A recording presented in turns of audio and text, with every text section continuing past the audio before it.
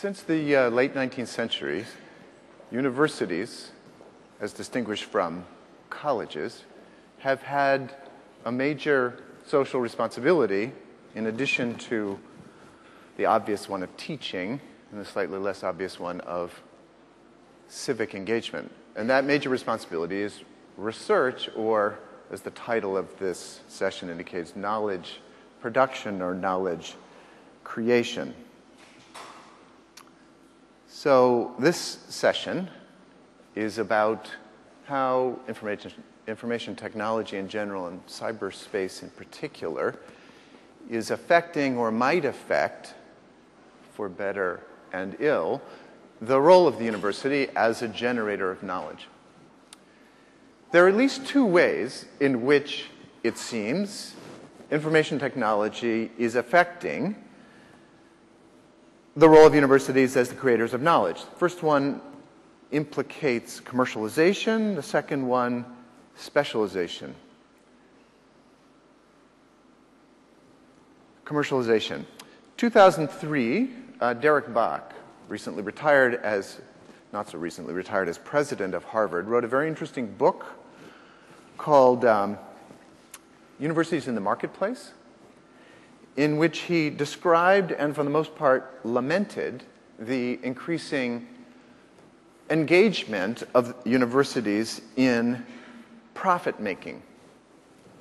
So he pointed to the following trends. First, universities, especially in the United States, were increasingly seeking through um, participation in athletics to make money, to recruit athletes who couldn't participate as students on an equal level with their peers, and to build large stadiums, enter into television contracts, and so forth, all in order to earn money.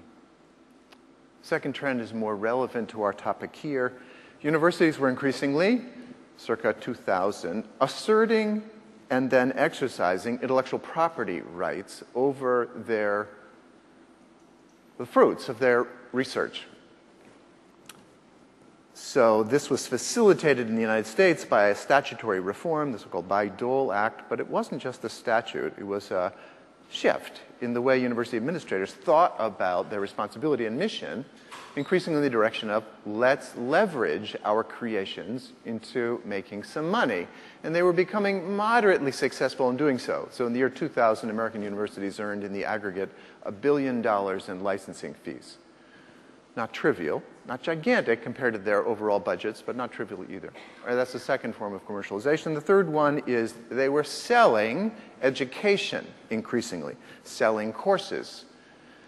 Intrigued by the possibility of distance learning, they were trying to create business models in this area in which you would charge for access information, continuing education, executive education, one of the main products of business schools, all of these were profit making ventures. Why, Bok asked, were universities moving in these directions? Well, there are a bunch of reasons. Declining revenues from other sources, a vague sense of the purpose of the university, which might resist these trends, a general mood of the wonders of capitalism, and last but not least, they began to make money because they could. Because increasingly, economic life was dependent upon the kind of information the universities were generating, so they were in a position to charge. So the money was there, and they might as well collect it. So, as I say, Bok's book was a lament. He thought this was terrible. I didn't say it quite so bluntly, but that's the general mood of the book. Why was it terrible? Because it was undermining academic standards. Now, here's something that connects closely with Joi Ito's presentation earlier. Because it was erecting barriers to the flow of knowledge, information, it was accentuating trends towards secrecy and toward limiting the ability of the world at large to gain access to the fruits of the university's research. Because it was deflecting attention on the part of the universities and their faculties from the pursuit of truth toward the pursuit of money because it was generating biases in the recommendations that faculty were offering to the world, and it was because it was making people angry at each other. So it was a lament. That was, as I say, year 2003. If anything, these trends have intensified since Bok wrote his book. And information technology, at least in the first instance, seems to be reinforcing these trends. Why? Well, because it increases both the pressure toward commercialization and the temptation. Okay, so that's our first subject, or our first hypothesis, is there's a relationship in, in, between information technology and commercialization as it affects the role of the university in generating knowledge, and we should think hard about this. And if we agree with Bok, devise ways of resisting it. And if we don't agree with him, figure out why his argument fails.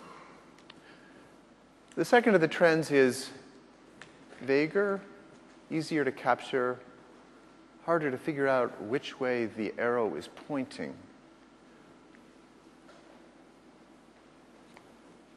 On the one hand, it seems that the ease of research and communication, again referring to Joi's very provocative talk, that information technology and cyberspace facilitates, is corroding disciplinary boundaries in the university. It's easy to get access to, increasingly easy to get access to the fruits of all sorts of disciplines, and it makes uh, consumers of information more Catholic in their tastes. It's like kind of like a smorgasbord. So, information technology, on the one hand, seems to be fostering a trend toward interdisciplinary work. On the other hand, it's doing exactly the opposite. Uh, the knowledge in each field of academic life is getting deeper. The pace of advance in every academic field is, is accelerating. It's harder to keep up, and so people tend to specialize. It used to be the case in law schools, for example, that faculty would subscribe to flagship law journals, the Harvard Law Review. It'd show up once a month, roughly speaking, and you just read it cover to cover, or more or less, to see what was happening in law. Nobody does that anymore. Instead, you subscribe to SSRN and you get a specialized set of articles and you feel at a loss in your inability to keep up with the pace of research. All provoked by information technology, in this case, SSRN as a vehicle for spreading faculty products.